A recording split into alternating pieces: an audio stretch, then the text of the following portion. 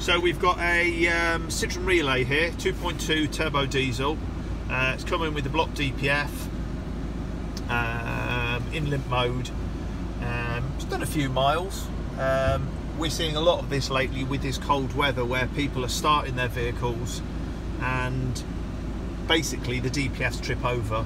They aren't able to complete regenerations and keep themselves clean. So we've had to run a HydroFlow just been for an extensive regen and road test. And as you can see on here we've got 0% soot.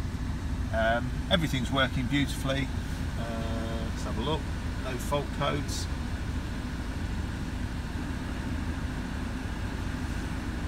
Me a second. There we are. No fault codes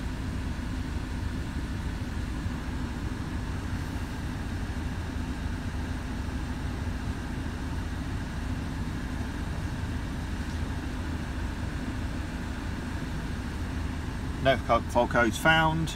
Um, the HydroFlow system really is fantastic. It's totally carbon free.